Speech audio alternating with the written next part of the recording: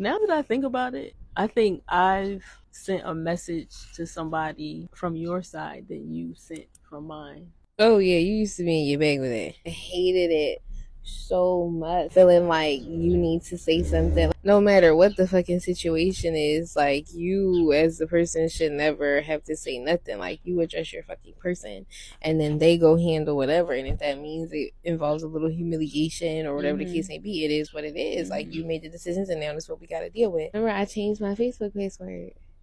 I remember you was irked about it because I didn't tell you because it was just like I felt like that was the only way to like Set the stop to it. boundary. Yeah. because it was just like no, like no. If it's a problem, check me, like me. I was checking you, checking the shit out of you. However, you were a lot spicier, spicier Leo back then. You still was doing whatever you wanted to do. And see, and that's when it That's comes was pissing me off. right, and then that's when that thing of like how I said before of like not even really knowing how to be in a relationship.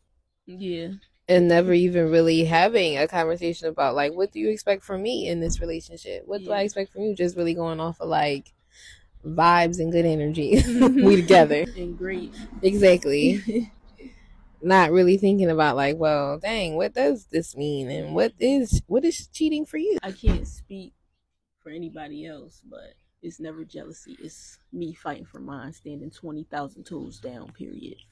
the unfortunate part is though that may be the energy you're feeling and what you're how you're coming but it's like other people aren't thinking that way oh you insecure you you know what i mean Right. when it's like No. fuck out of here i'm claiming what is mine You're sneak trying to take mine. Like, what are you talking about? so i'm saying i see you I'm and it ain't happening Never.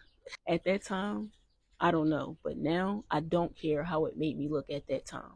However, I do care that to even give off that because it's never that too much confidence. I got too much of it. I will fight. You know, I'm. I always say I'm too pretty for that fighting shit, but I will fight for you literally. mm, I ain't fighting. I'm not a fighter. I'm a lover. I carry love. Peace follows me. But if I need to, let's get there please don't play with me. Don't play with me. I fall and I'm 10 years in, six years married, and forever on. because in reality you shouldn't even ever feel like you have to fight you know Yeah.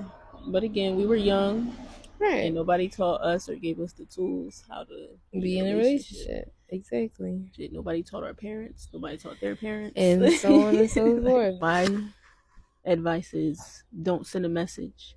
It don't matter how you coming off.